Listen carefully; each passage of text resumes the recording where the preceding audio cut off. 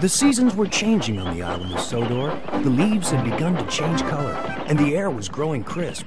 Thomas the tank engine was feeling restless. Summer is almost over, and I haven't had any real fun, he complained. You're a fussy little engine, replied Gordon. We're not here to have fun. We're here to work. Well, that didn't make Thomas feel any better. I'd rather be fussy and fun than bossy and boring, he retorted. The next morning, Sir Topham Hatt called the engines together. We're opening a new branch line tomorrow, he told them. I need one of you to check the signals on the new line to see that they're all working properly. Who will volunteer? I will, Thomas piped up. Checking signals wasn't much fun, but it was better than being bossed around in the train yard. Off you go then, said Sir Topham Hatt, and be sure to check every signal, Thomas. Safety is our first concern. Something about shiny new tracks always put Thomas in a good mood.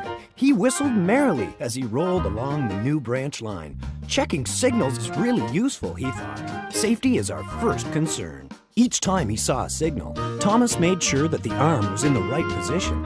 He also checked to see that the signal lamp was working, so it could be seen at night. If the signal arm was down and the lamp was red, that meant danger on the tracks ahead.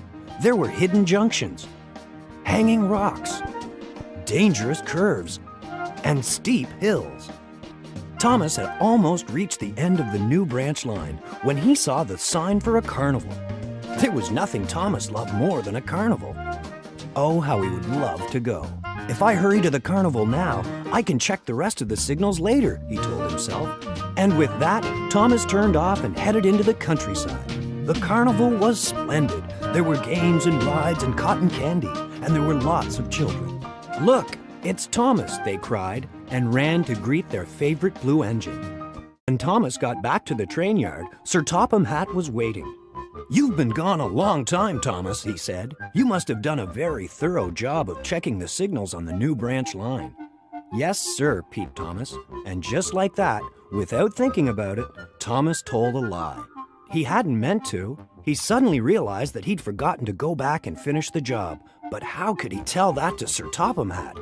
Good, Sir Topham Hatt beamed. Then everything is ready for tomorrow's grand opening. Thomas gulped. What if there was trouble? What if one of the unchecked signals didn't work? I know, thought Thomas. I'll get up very early tomorrow and go out to check the rest of the signals before the grand opening. That night, Percy was being loaded for his mail run when a call came into the station. Rain had washed out a section of track on the mail route. Percy would have to find a way around. Don't worry, Percy, Sir Topham Hatt smiled. You can take the new branch line. Off Percy went, pulling two big cars loaded with mail. Rain fell heavily. Each time Percy saw a red signal lamp, he slowed carefully until he had passed the dangerous spot. Then, suddenly in the dark, Percy passed another signal. The lamp was not lit, so he didn't see it until too late. The arm was down for danger. Percy slammed on his brakes, but the rain made the track slippery. And there it was ahead, a very dangerous curve. Oh no, cried Percy. One of the mail cars flew off the tracks and was smashed to bits. Percy shivered with fear from his close call. The next morning, Thomas awoke and sneaked out of his shed. Then he saw Percy returning with Sir Topham Hatt. Percy has had a terrible fright, Sir Topham Hatt said sternly. He almost derailed because of a signal lamp that didn't work. How could such a thing have happened, Thomas? Oh, sir, I'm so sorry, sir, Thomas sputtered. And it all came rushing out about the carnival and the children and about how he'd forgotten to go back and finish the job. I'm sorry I told a lie, said Thomas sheepishly. I just wanted to be part of the fun.